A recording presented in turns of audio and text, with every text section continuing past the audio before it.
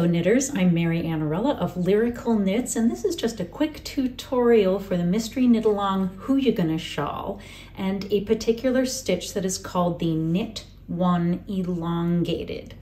And the instructions tell you to knit a stitch wrapping the yarn around the needle twice and pulling it through. So I just wanted to show you what that looks like. So I just I just have a swatch here. This is not my actual work in progress. So to knit a stitch, you know, you just go through and draw through one loop, right? We got this. But the knit one elongated to wrap it or wrap the yarn around the needle twice when you knit it. So you insert your right hand needle as if to knit the stitch. And instead of just pulling one loop through, you're going to wind the yarn around there an extra time and pull it through.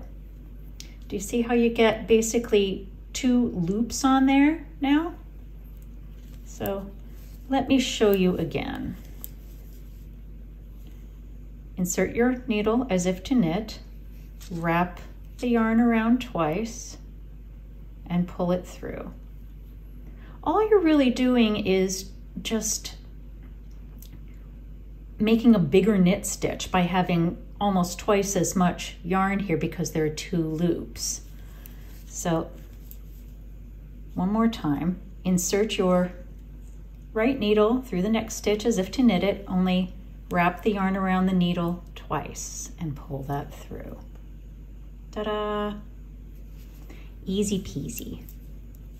And we're doing this because we have to elongate the stitch and pull it, slip it for the next several rows. So I'll turn my work to the wrong side.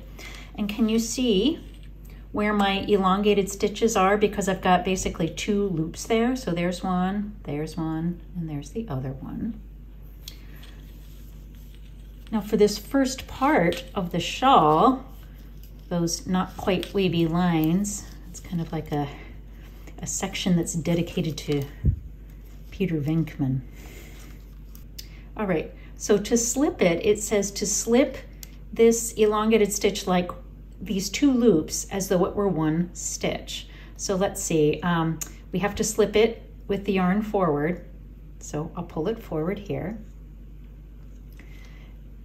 And just slip the whole thing purlwise like that.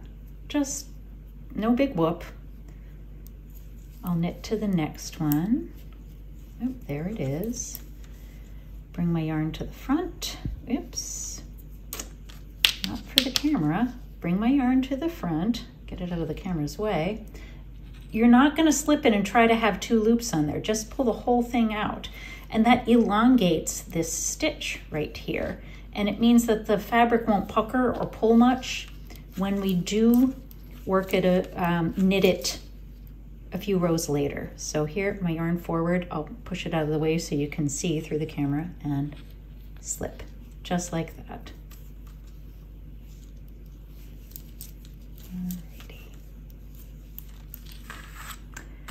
And that's all for right now. We'll see you for the next tutorial.